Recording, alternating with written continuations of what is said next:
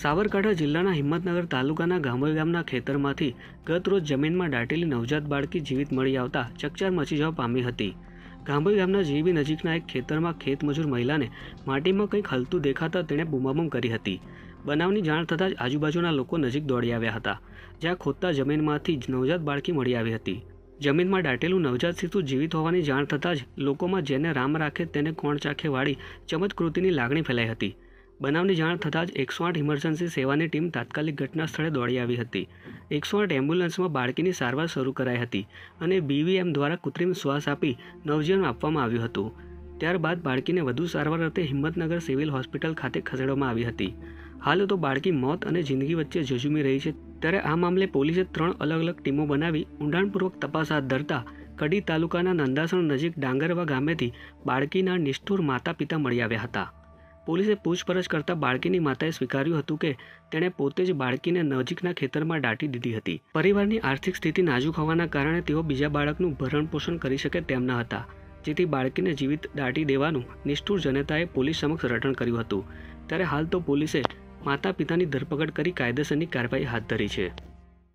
તારીખ ચારના રોજ વહેલી સવારના ગાંભોઈ ટાઉન ખાતેથી યુજીવી સેલની ઓફિસની નજીક એક ખેતરમાં એક નવજાત શિશુ જે છે, એ માટી ઢાંકેલી હાલતમાં દાટેલ હાલતમાં મળી આવેલી બાબતની પોલીસને જાણકારી મળેલ. તાત્કાલિક એકસો આઠને બોલાવી અને બાળકી જે છે એને સિવિલ હોસ્પિટલ ખાતે લાવવામાં આવેલા અને એની ટ્રીટમેન્ટ શરૂ કરવામાં આવેલી હતી.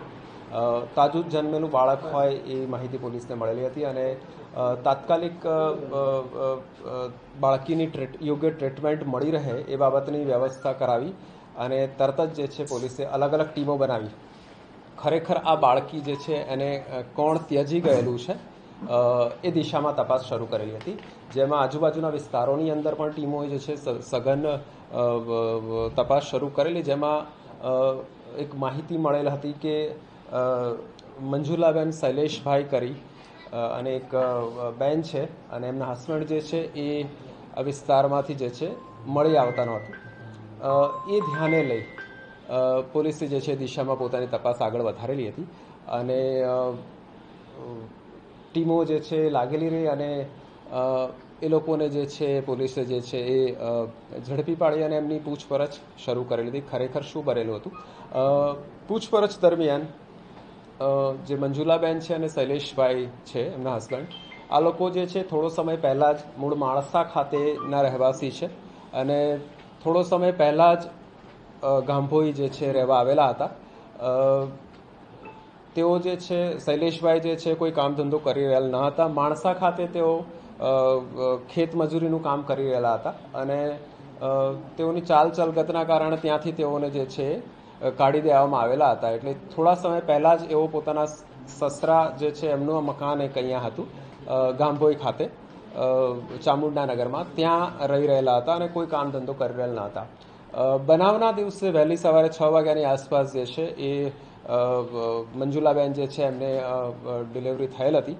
અને એ ડિલિવરી થયા પછી કારણ કે અઠ્યાવીસથી ત્રીસ અઠવાડિયા જેવો લગભગ સાડા સાત મહિનાનો પ્રેગ્નન્સી પિરિયડ હોય અધૂરા માસે જન્મેલ હોય, દીકરી હોય, તેઓ બંને જે છે એ જેમ મેં જણાવ્યું આર્થિક રીતે પણ જે છે પોતે વિચારમાં પડ્યા અને એમણે એવું વિચાર્યું કે આનું શું કરવું?